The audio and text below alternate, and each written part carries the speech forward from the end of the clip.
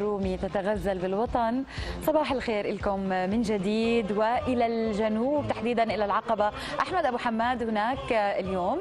قافلة برنامج يوم جديد من العقبة موجودين. نيالهم أكيد الطقس الساحر دعاء آه روعة. بالتحديد بهالوقت أكيد. بالعقبة نعم. هاي الأيام.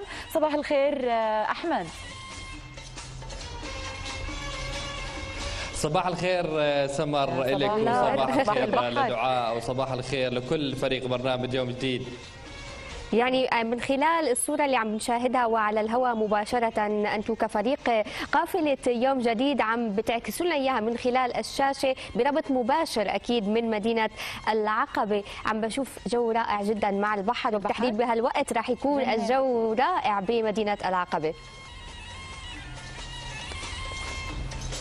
أكيد دعاء الأجواء رائعة ساحرة جميلة الجو جميل يعني الأجواء دافية البحر هادئ المكان جميل. إحنا بنطل عليكم هالمنطقة لأول مرة من خلال بث مباشر وحصريا لقافلة برنامج يوم جديد لحتى نورجيكم أكثر مدى جمال هذه المدينة العقبوية الجميلة اللي بتقع جنوب محافظة العاصمة عمان على بعد 330 كيلو متر وهي خامس أكبر مدينة أردنية. يبلغ عدد سكانها 150 ألف نسمة وهي منطقة اقتصادية خاصة تمتاز بالعديد من المعالم المميزة من جبال وشواطئ وتنوع حيوي. بالإضافة أنها بتتمتع بعاداتها وتقاليدها وموروثاتها التراثية الخاصة. يوجد فيها العديد من المعالم السياحية والأثرية والطبيعية المميزة.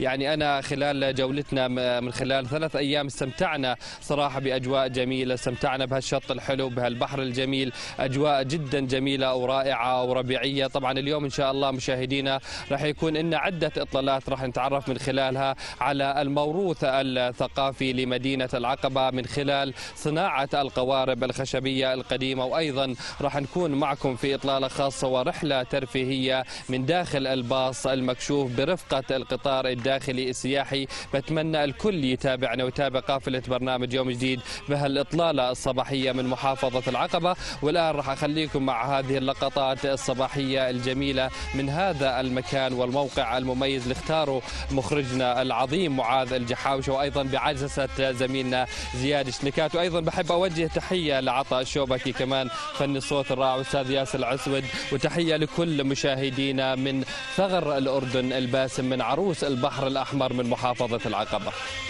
عن بيتنا لينا يا ريس امشي وطير فيه